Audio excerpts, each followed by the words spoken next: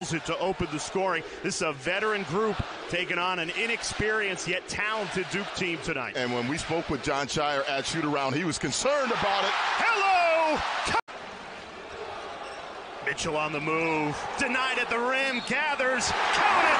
Plus the foul. And when I spoke to assistant coach Carrawell, uh, he said he reminded him a little bit of it off the glass. Mitchell through traffic.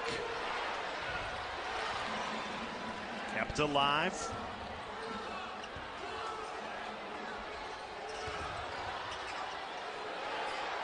Great ball fake. Mitchell right to the rack, lays it up and in. Fins with nine. Looking like a tight end that time, like Gronk. I mean, that is a great catch and finish. The big fella showing off the hands.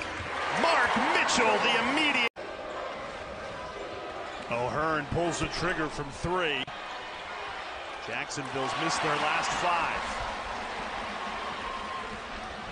Mitchell right to the rack and hammers. Really can guard uh, one through four, can switch on uh, ball screens, uh, can just do a lot of different things. And I think the biggest area where he can be a really good player on the defensive end.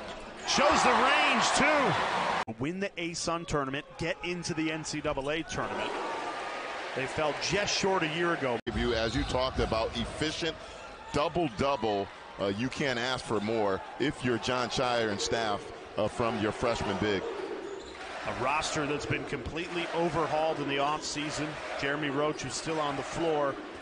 The lone returning starter from that Final Four team a year ago. Four transfers, seven freshmen.